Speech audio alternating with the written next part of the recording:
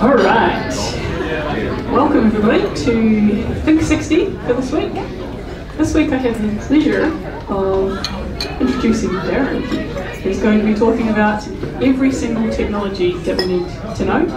Uh, just to confirm that um, have the same practice, if you want to interrupt at any point for clarification, please do. If you've got a question that you think of during the session that you want to park on Slack, we'll address those. And Sydney, feel free to do the same. Pop some questions up on Slack that we'll address at the end of the session. Thank you. Thank you, Lee. Every single technology you need to know about, and someone said, what about the internet and websites? We're not going to cover those uh, because they're far too complex and they're probably not going to take off anyway.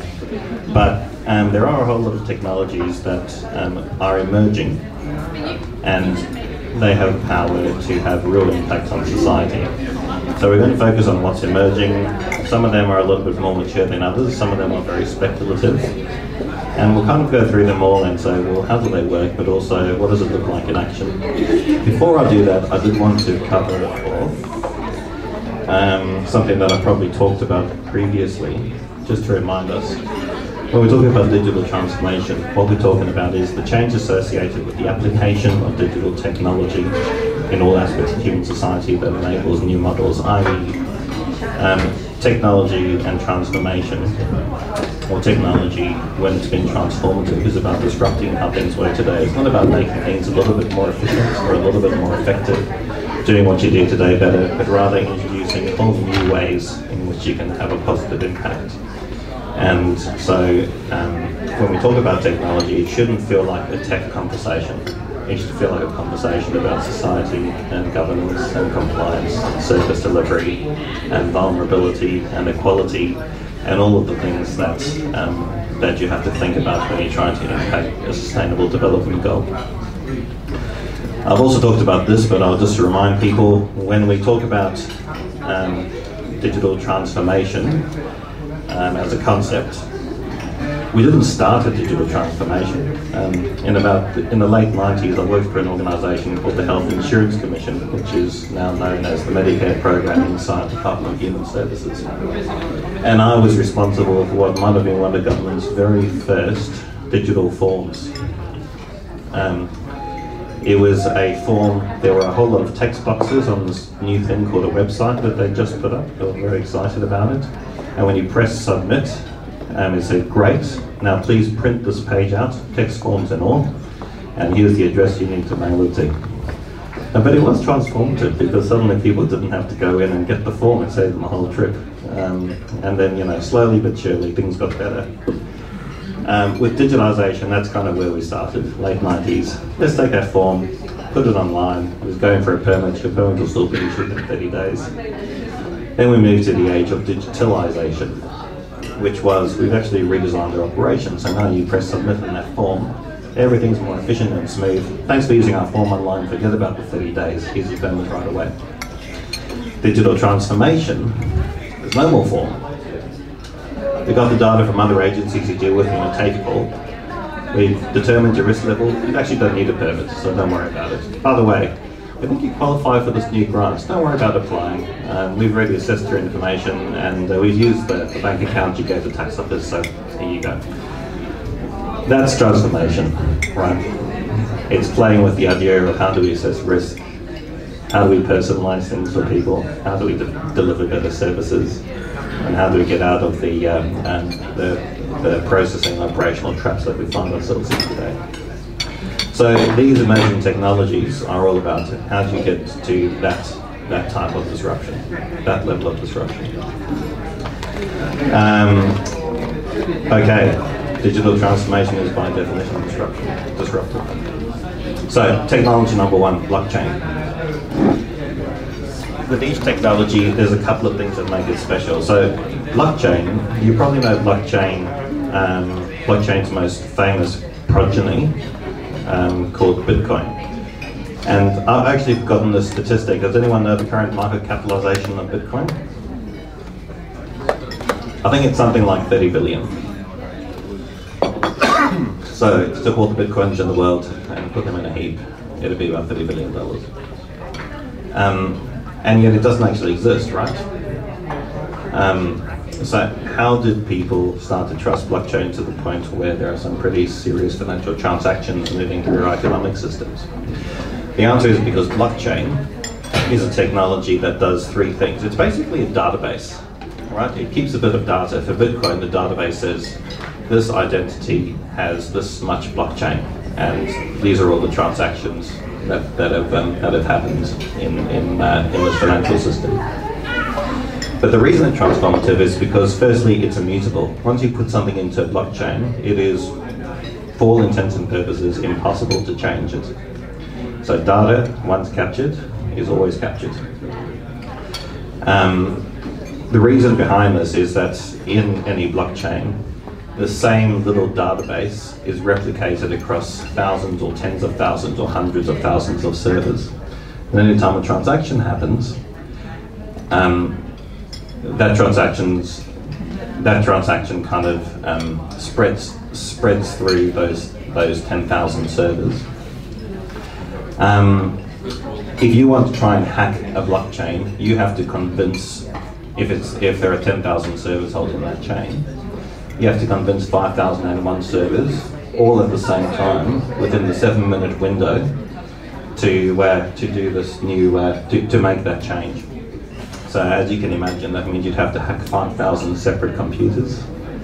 And you'd have to make the change in all of them. And even when you made that change, um, every time a new transaction is added to the database, um, it creates this, this block of information, like a Lego block of information, and then another block is put on top of it seven minutes later with a whole lot of new transactions. You've actually got to un unpick each block make the hacking change you wanted to make, re-encode the block, and then re-encode all the other blocks and put them back up again. Um, this is so difficult that people trusted 30 billion. So um, blockchain, a database, decentralized, exists on many different um, servers. No central authority, there is no blockchain bank the trust comes purely from the fact that there are so many bloody copies of this uh, financial ledger out there that nobody could nobody can hack it. And it's transparent.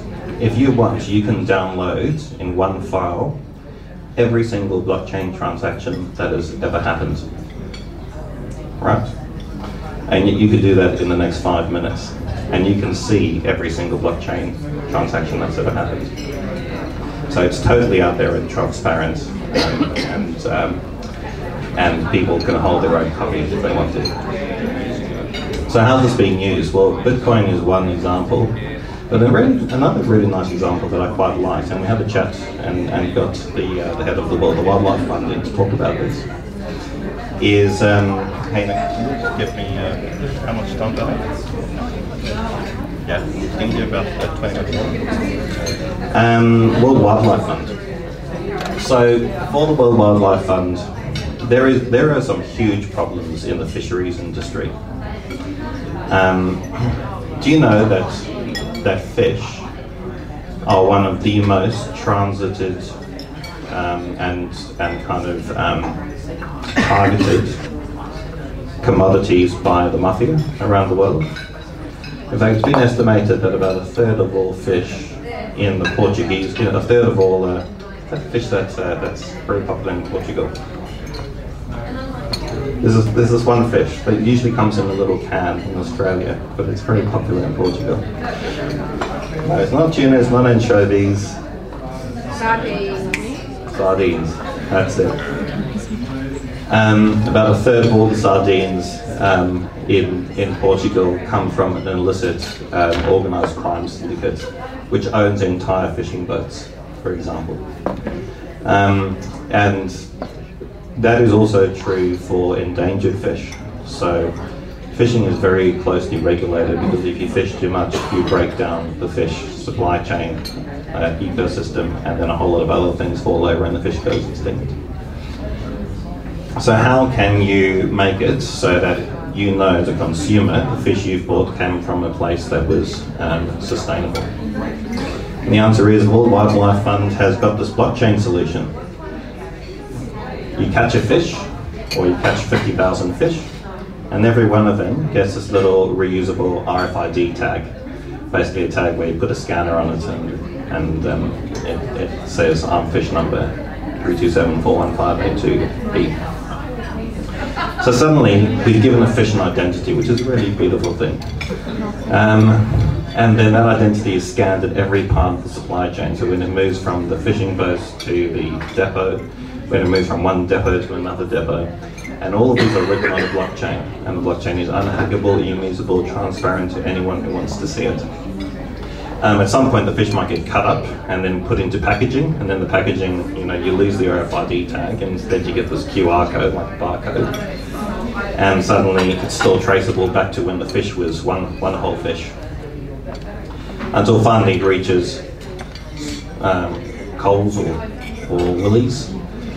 And then um, you as a consumer can take an iPhone app or an Android app and scan this QR code and you'll know that along every step of the way um, where this fish has been. And in that way you can validate that the supply chain is ethical and sustainable. One of the brilliant things about this is that not everybody has to be in the same system as long as you can scan that barcode and send a little message to the blockchain and write a new transaction, anybody can add to that transaction. So um, pretty pretty incredible use, and in fact, anytime there is a supply chain that you want to track, um, uh, particularly across lots of parties um, who have lots of different systems and live in lots of different places, um, you can use blockchain to do that. So it's already being used in a pilot project by WWF, where they are um, getting Indonesian fishing boats to catch fish and then trace all the way through to a UK retailer. I think it's Tesco. I might be wrong. I think it's Tesco. Um, so that's blockchain. That's our first new technology. Things to remember about it. It's a database. It's immutable. It's um, it's decentralized, and by and large, it's transparent. Okay. Um, the second thing, I'm going to get into trouble for this because people are going to say that's not a technology. Data is not a technology. But I'm, I'm putting it in here anyway because technologists tend to enjoy talking about it. Big data isn't just a database with lots and lots of information. It's lots of data from different databases all brought together so that you can see across all of these information sources. Um, and I'll give you an example in a sec sometimes people talk about data lakes. That is when you basically just take a whole lot of databases and drop them into one massive data system. Don't try and join them up, it's just that, okay, now we've got all this data in one place. Um, as opposed to a data warehouse where you actually work out what the data is that you're putting into it and you try to create one mega data set. Very, very hard to do that, but um, um, that's what, it, what the dream of a data warehouse is. So let's talk about um, this one. So at the moment, my health record contains lots of information about individuals, people's health. So you can derive a whole lot of information at a societal level just by looking at all that data, right? And then you can then say, okay, well, we see that people with this type of health condition tend to develop that type of health condition too. You couldn't necessarily develop that by a clinical process uh, or a controlled, a traditional clinical experiment where you may look at a thousand people. But when you suddenly you've got 20 million people's worth of health information, you can derive these new insights that just wouldn't otherwise have been possible. And then the really interesting thing happens, and this is where we get into a real power of, of uh, big data, is what happens if you take all of that information and you also take a whole lot of spatial information and you take a whole lot of information about where people went to school and what they studied, and you take you know other pieces of information that's that when you put it together show people's lives beyond just their clinical life. Suddenly you may be able to draw insights like people who live in this type of city tend to develop um, heart disease and so the solution to heart disease may not be a clinic or a diet solution, it may in fact be a city design solution. So um, big data not only that you get a, a huge view of a particular topic, but push beyond that topic to see what un- previously unidentified linkages there may be to totally different topics. Big data is going to be as influential in policy design and service design and administrative design as any any other revolution that has happened in the last hundred years. Um, people don't realise it, but the, the notion of big data will have the impact of the first book being made or the internet being made. It's just that we're very early in, in the process, so we don't quite know how to exploit it properly. Automation, and there's a lot of discussion around automation. Um, automation as a technology, you tend to think about assembling cars, and that is an automation technology. It's often associated with robotics, physical things being created. Um, in a government context, what automation is about is using natural systems to make things happen without the requirement for any type of user experience, or I sometimes call it the no experience. Right? There's no user experience associated with this. Um, a great example is single touch payroll. Has anyone heard of single touch payroll? Yep. It's caused quite quite the stir in government, and this is how it works. Instead of paying your reporting your payroll uh, to the tax office, and any business that's above 20 employees needs to do that, and they need to write a report and then send it through. Instead, what they've done is they've worked with software developers to basically work out everything that needs to be in that quarterly report, but on a weekly basis, and just let that information start trickling through. As a business, instead of getting a tax tax agent and doing a whole lot of work trying to work out your report every couple of months, you don't you literally don't need to do anything anymore. Um, not only does it mean that this is now all totally automated by clever arrangement of systems and data, but it is also um, enabling new types of compliance. So instead of the tax office saying every quarter, um, how's everybody going? Is anyone doing the wrong thing, intentionally, or unintentionally? Ah, this person's done the wrong thing. They made a mistake, but they've made that mistake for three months, and now we're going to we're going to hit them. Instead, they can intervene much earlier and say, last week they said this, and that doesn't make sense. Just touch in with them and make sure that everything's okay. So it actually enables a new type of compliance. So um, when we think about automation, feel free to think about robots and automatic assembly of cars or iPhones, but also think about how can we take, say, a reporting burden and turn it into something that literally has no more human experience or human interface to it anymore. And that's a powerful idea. So there's a new role that didn't exist in government about four or five years ago, and it's it's emerging, and you'll hear it. It's called the cloud architect, and this is a role that has been based on this notion that um, uh, the cloud is the new way that government should um, create and implement technology. So for those of you who have been asleep for the last decade, um, the cloud is basically instead of me owning my software or me owning my database or me owning my platform or infrastructure, I'm going to pay somebody else to do it. I won't maintain it. All I will do is, um, is that a child? Is that Hannah? Not expecting that. Hi. um, in, in um, instead, the cloud it is inside the cloud.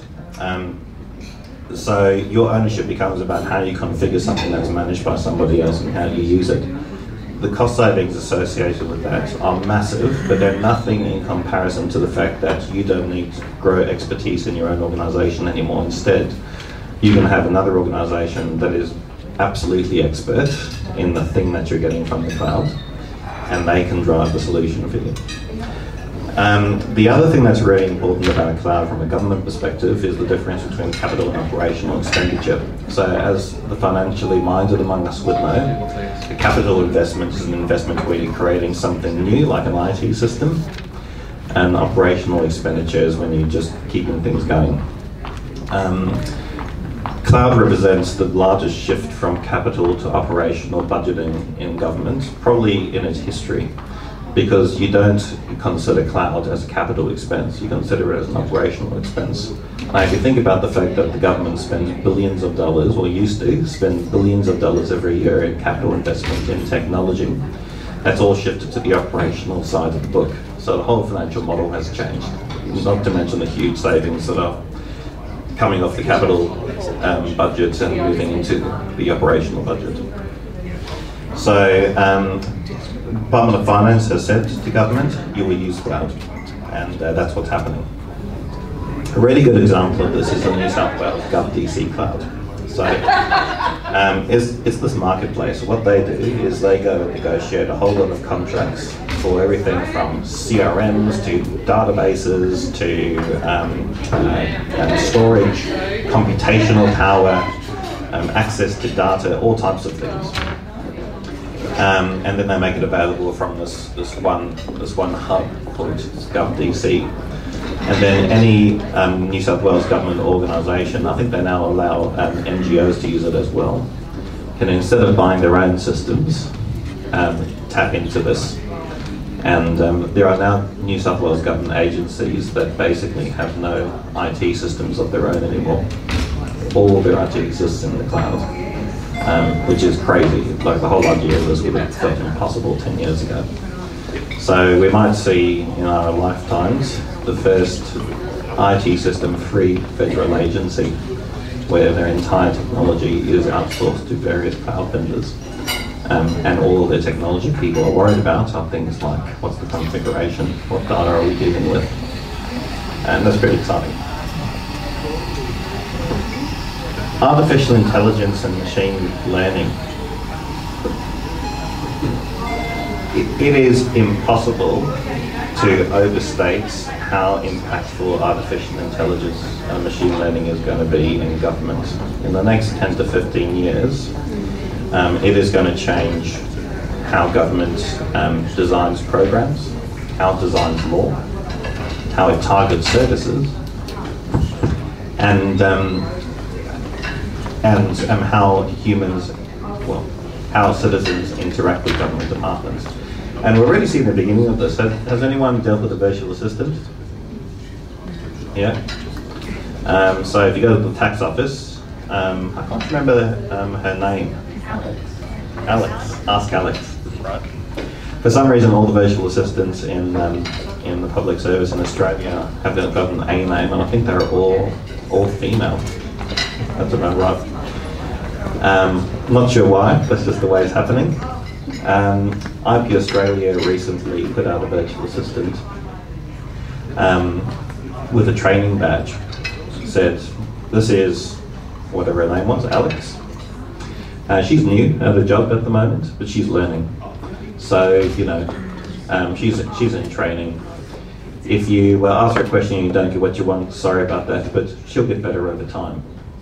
So imagine that a, a computer program with a training badge, something different about them, right? And the reason why why Alex is learning is because she's a smart algorithm. Over time, she tries, she predicts what people might need. And if she gets it wrong, she learns that she got it wrong, and then she tries to do better next time. Um, so when you think artificial intelligence, what you're thinking is what is sometimes called a prediction engine. They look at data, they try to learn as much as possible, and that learning turns into a prediction that they make. And if that prediction is right, that's a deep learning experience for them. If it's wrong, it's a learning experience for them. And um, probably one of the, uh, the, the AIs that you may have um, interacted with is this um, Google Google program where uh, I think it's called Google Draw. Yeah. Yeah. Right. So it says it says draw something, and you draw something, and then it says I reckon that's a trombone. And the reason why I can make that prediction is because it has looked at millions of trombones and drawing of trombones, photos of trombones, and it has worked out what a trombone looks like. And then when you draw your, your inapt trombone, it can take all of that data and make a prediction that the thing that you're drawing looks most like is a trombone. And one of the things is every time it gets it wrong, then it um, it learns from that. So the next dodgy drawing, which kind of makes the same trombone mistakes, we go, I reckon that guy's trying to draw trombone. Um, so it's pretty incredible. In the same way that it can recognise trombones, it can be taught to recognise things like illicit transactions. If a crime syndicate is trying to import drugs, it can take a look at all of the factors associated with that import and say, based on imports that we have uh, captured before, based on um, which have been licit or illicit, we think that this one actually looks a bit illicit. So stop that one and have a look inside the box. Um, there is a pretty famous story going around at the moment about um, uh, a professor who has worked out an algorithm that allows you to predict if someone is having a manic episode.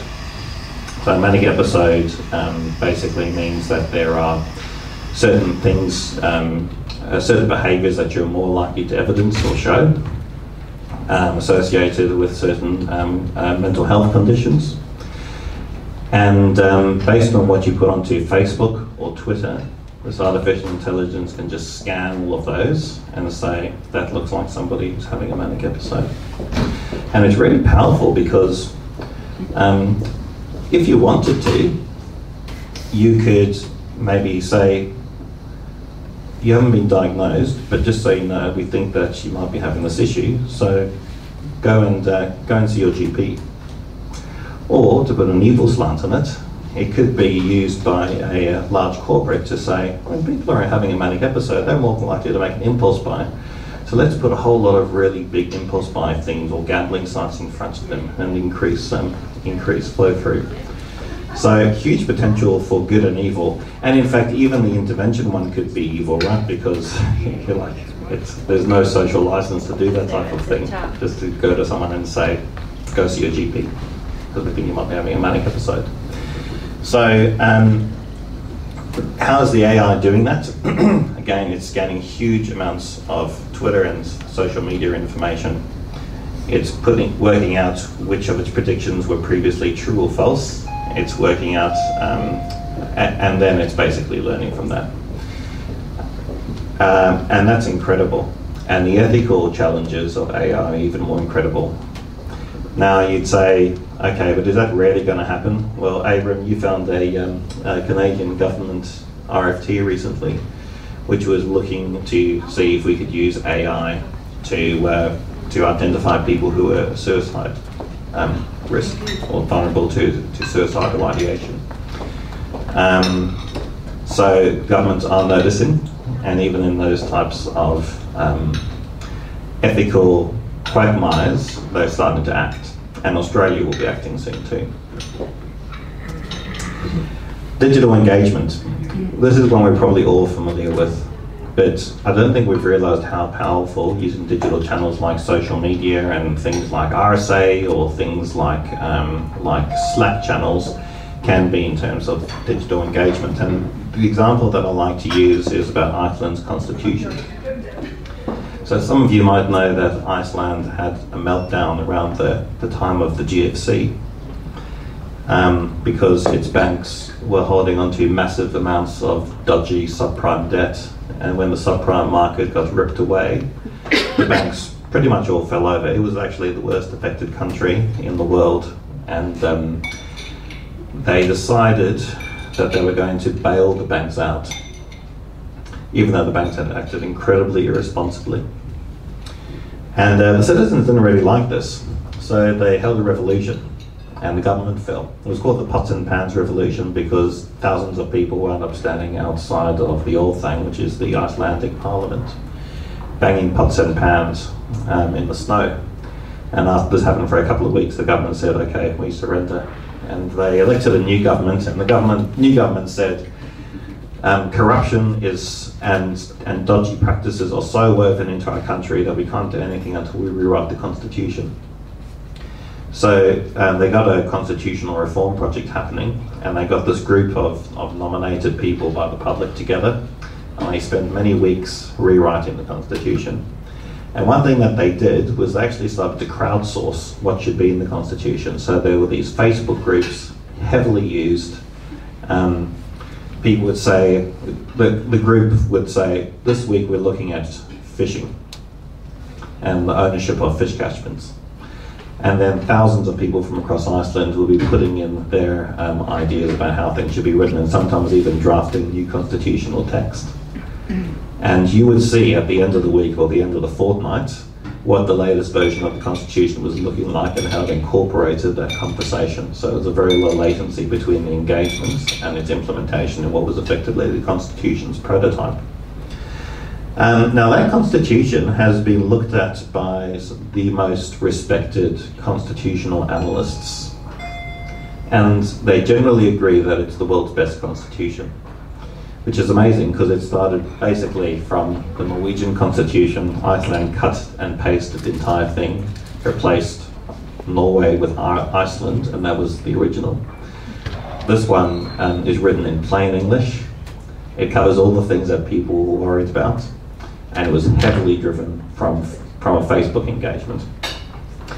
Now, there was a referendum, and the referendum passed. And then one of the old governments got back in to power again, and they basically killed the whole project. But, um, um, but there's a lot of people in Iceland who wanted to come, and so I think in, in the next couple of years that, that crowdsourced uh, I, I, couldn't tell the story and then say everything was perfect, but but um, there's no question that um, this is an extreme use of digital engagement. Now, if you think about the projects that we work on with governments, often we'll say, "Oh no, we, we can't open it up like that. We can't just open it up to them up." And then what you can say is, well, actually, when they tried to do that with the Constitution of Iceland, they created the world's best ever constitution. So you should definitely let us use digital engagement to decide if fish permits should be taken 30 days or 14 days. Um, just a couple more. API architectures. So APIs have been around for a while, but the way they're being used today makes them into an emerging thing. An API is basically an interface that allows a machine to talk to another machine. A couple of examples of APIs. Um, if you've ever been to data.gov.au, you'll know that there's lots of open data that lives on those websites, and you can go and download a data set and, and use it. Or you can have your program on your computer connect to a government data set and draw information in that way. The way that's happening is via an API. Another example, um, on your personal website about tropical fish, you can have a link to Amazon and, uh, and a tropical fish book, and you can in one click on your website buy an Amazon book, right? The connection between your website and Amazon, that is, um, that's an API. But um, what's happening now is that governments are using APIs to go beyond uh, those types of more trivial transactions to say, can we actually put APIs on everything? Can we take every data set and put an API on it so that anybody with the right permission can get it? Can we take any service that um, we as government put out there and put an API on it, and instead of us being the service deliverer every time, um, maybe someone else could do it. Um, for example, rather than having to submit your tax return to the tax office, maybe submit your tax return um, via to this other provider who then does a whole lot of processing for you and says, "You sure you want to do this? You know, check this out." But once once you're happy with it, we'll submit it for you, and it'll be a much nicer process. What's actually happening there is the government has says we're, we're going to outsource our front end um, to anyone in the world and they might be able to provide a better experience than we could, and that's because we put APIs on everything inside the tax office. So, um, so now anyone can play with our stuff. Isn't that just what tax accountants do? Um, yeah, absolutely, and that's driven by APIs. Okay. Yeah, yeah, exactly. I don't do my tax. Yeah. um, so, okay, great. Um, yeah, so tax accountants do do that, and um, what they used to have to do is they'd have to log into an ATO system. Now ATO's put APIs in its system, so instead they can just do it straight from IOP. Um, and it gets even more sophisticated than that, so it's pretty cool. Um, one example is Singapore. So they've got this this um, this system called Apex, which stands for the API Exchange. And they basically have a rule. If you're a government agency, you have to put an API on your data, unless you've got a good reason not to. And inside this API exchange, will you can say who's got permission to use it or not to use it. Which means that now, instead of a government agency A negotiating for 12 months with government agency B about whether or not it's allowed to access this data, instead, in five minutes, it can go through the API exchange and get the data that it wanted. And you might think that I'm being a bit hyperbolic. Surely it doesn't take 12 months for a government agency to give um, to give. And you're right. I am being hyperbolic. That is much much slower than the real thing. Um, for um, jurisdictions in Australia to share water data with the federal government, it was a 12-year process to create that memorandum of understanding. So instead of 12 years, 12 minutes. That's what API exchanges and within government do. Um, I think this is the last one.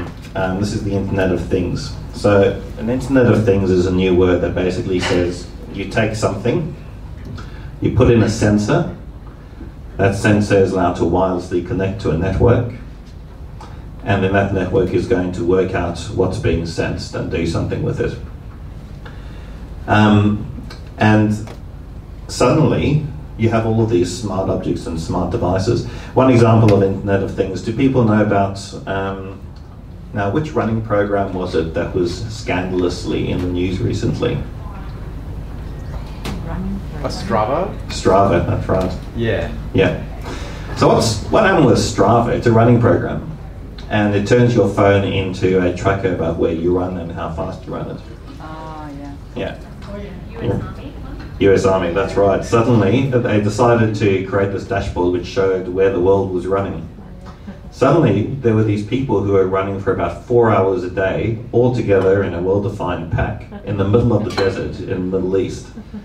And, uh, and they were on like 20 kilometer runs. It was amazing.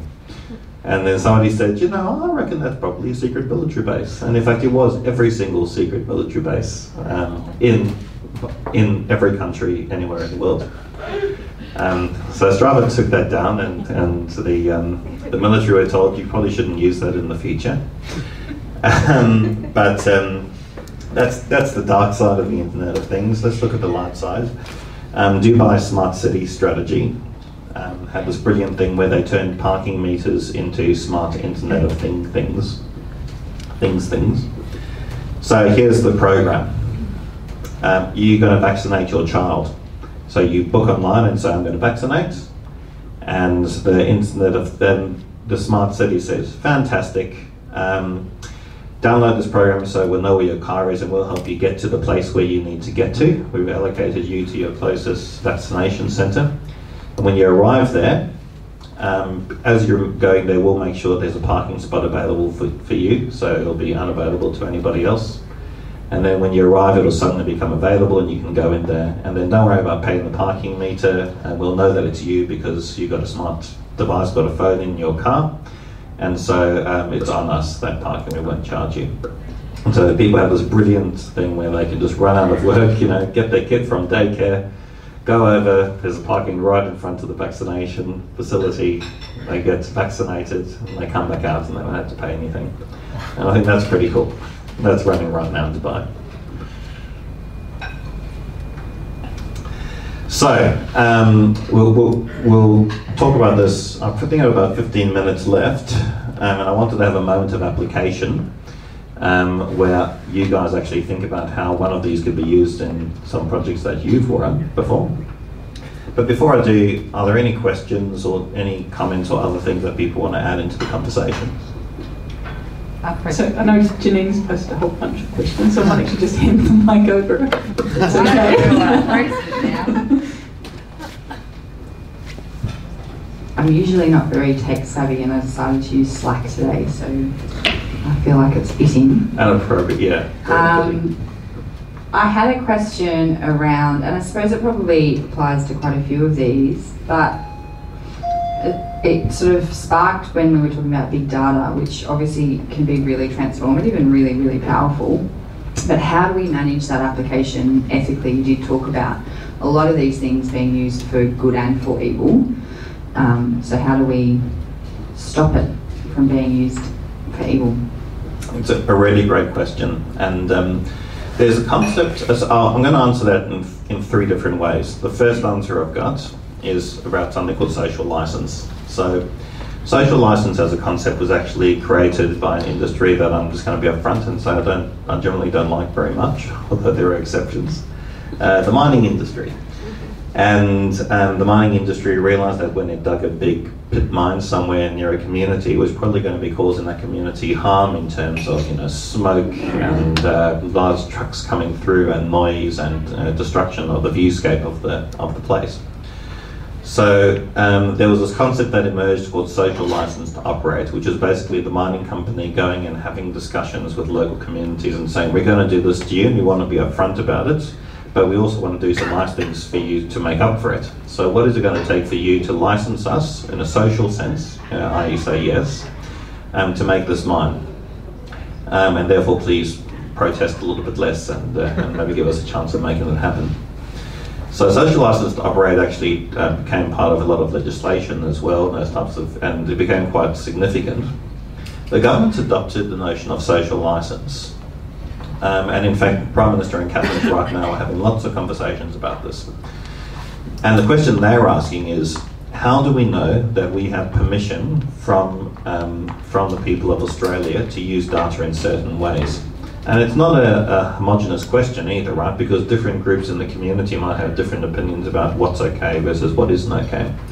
Not only that, but we know that legislation moves on a much slower cycle than um, than people's willingness to use or not use data for, for their own convenience. Um, and so, um, um, establishing social license, um, is it okay to do this? One of the ways to do it is to have consent. So the government is allowed to do something, but first the person must have informed consent. And just hint, there's no such thing as informed consent when the consent form has 45 pages of small text on it. That's not consent. Um, so, so informed consent is one way to establish social license. The other way is to make sure that there is a vigorous discussion of the potential harms and working out how to mitigate them. For example, we wouldn't want, um, we might want um, companies to be able to create cooler interfaces and more useful interfaces to my health record. We probably don't want that company to also be your health insurer, right? Um, so trying to work out um, what those harms could be. So social license is one thing. Um, we've talked a bit about, and, and I've led some of these in the past, um, Bondi Beach conversations, actually thinking through some of the scenarios um, when you're sitting in Bondi Beach or where ethical challenges might lie, rather than trying to work out if you're going to. Um, um, I should probably explain Bondi Beach conversation, shouldn't I? Mm-hmm. Okay, I'll do that.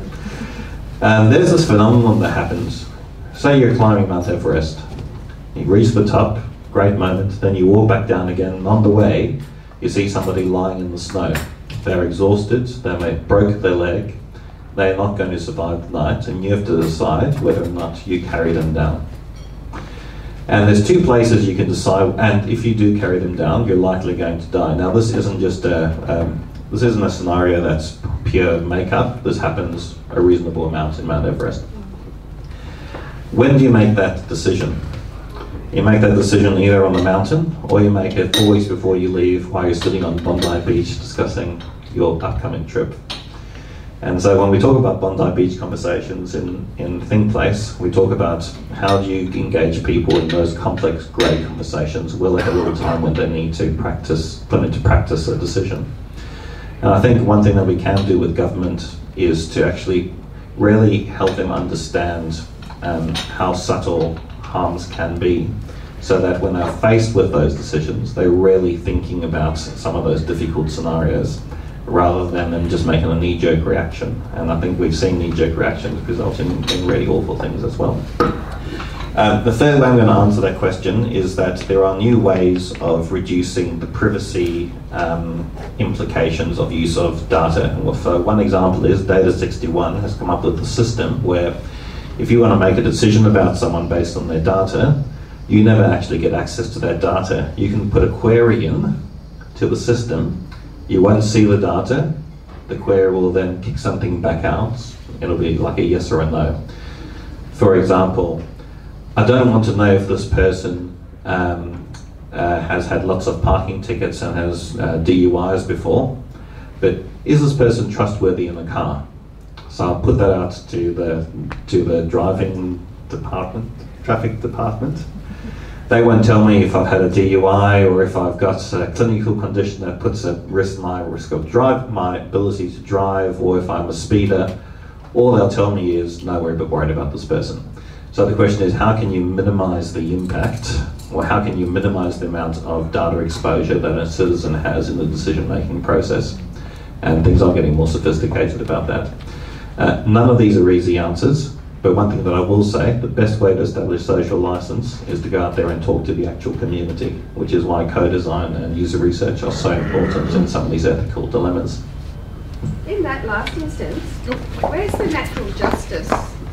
Where's Where's the natural justice component if if you're using AI and machine learning and a, and a machine or system is making decisions, you kind of lose that ability to have an individual conversation about what the extenuating circumstances or what's going on in their lives at the moment that might have meant they behaved a certain way and I don't know, it worries me a little bit.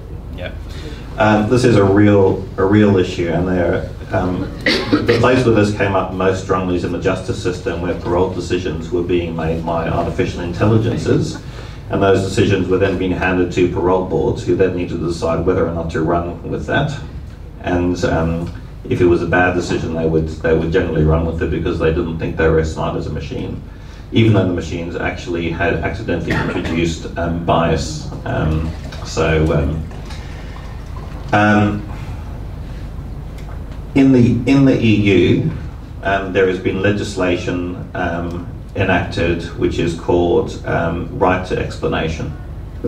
And right to explanation legislation means that a government department cannot make an administrative decision that affects a person in some way, with some exceptions around national security, without being able to explain that decision in a process that's kind of similar to freedom of information. Now, that actually is a real dilemma, and I'll tell you why. On the one side, it means that the issue, that the, the risk that you just talked about, which is government decides something for me, but it doesn't take into account who I am as a person. So that kind of controls that because now a person can find out why a decision was made.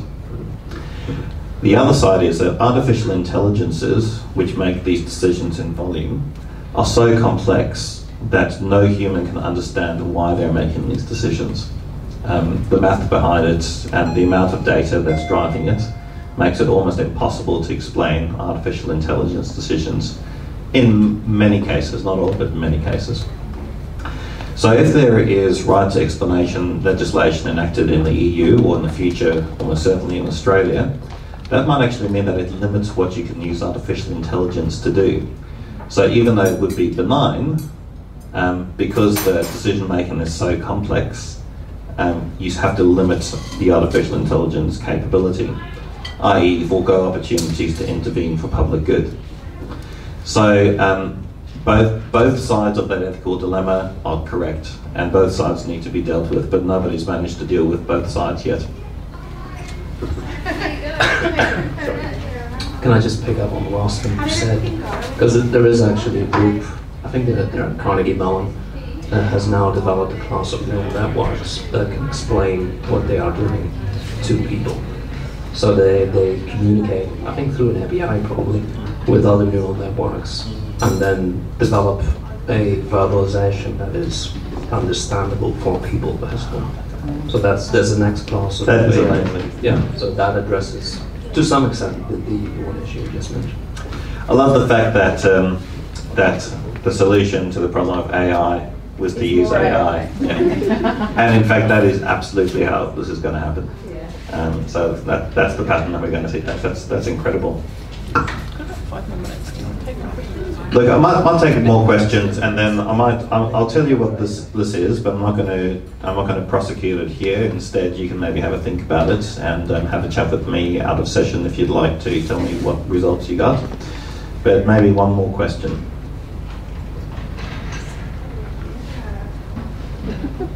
What are the risks? What are the risks of? What are the risks of AI being out of control? Stephen Hawking. Yeah.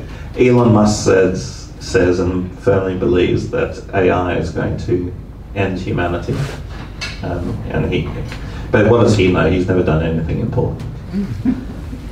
Um, Well, he's spoken to John. Yeah. no, he only does it in shareholder meetings.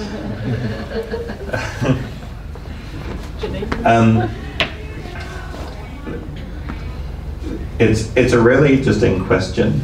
Um, there's been great work done by Isaac Asimov in the 70s to try and work out how to program um, uh, limits, harm limits into robotics that are actually coming back into vogue at the moment.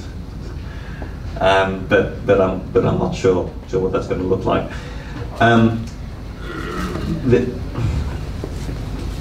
I'm not sure of the answer to that question, but I'm going to I'm going to transform it slightly, which is what is to prevent a, um, a government from using an, the power of AI to destroy another civilization. Um, because I don't know how we stop a rogue AI, but um, I don't think it's going to go well for us. Um, but the really scary thing is that right now there are bad actors around the world who are using artificial intelligences to do things like micro-targeting of propaganda, um, like hacking of systems that might be considered unhackable, um, otherwise unhackable, um, and to, um, uh, to to do various to do various other bad things. And I think there's going to be a national security conversation, which I hope that we're, we're a part of in some way, um, to say um, what are the vulnerabilities in our national systems that we, we haven't thought of. And that could be something around um, um, social engineering. You know, we might have the strongest systems um, around um, that will stop a person from breaking into another system and hacking something. But we're also machines, and we can absolutely be hacked um, just by the right message at the right time on the right subject in the right place. And these things won't happen um, like a bolt from the blue, but right now there are almost certainly artificial intelligences that are trying different techniques to influence large populations, making mistakes, are learning from it, and are algorithmically evolving using a machine learning um, learning model to become more and more effective at deploying natural language um, incursions into foreign countries. And we've really seen the beginning of that um, with the um, uh, Cambridge Analytica scandal, which provided a whole lot of detailed information, which was then fed into learning models for, um, for the Russians, um, uh, Russian Internet Research Agency. That was then turned into natural language um, injections into social media using a large botnet army um, which was then which was also micro-targeted at swing states. So it sounds like science fiction, and the FBI believes that's absolutely what happened, and that's just what we know about. So weaponized AI um, is not going to be where do you drop the bomb or how do you hack the system, but how do you hack the people? And there's a really great conversation that we need to have about that, um, and we're not having it fast enough yet. Do you want On that happy note, I think we're done. Darren, can we please get a copy of this? Oh, Translate it. Thank you. yes. So Darren, thank you so much for taking the time to prepare today's Think60. It's um, been really informative to learn about the different emerging technologies, every single one of them. and um, really interesting conversation that I think only needs to be picked up, not finished here. So yeah, thanks so much. And, and the thought I'll just leave everyone with is um, how do you take this, this conversation and translate what you've learned into an intervention in the projects that you run so that people understand what's possible and not just what you can do today. Thanks. Wonderful. Thanks.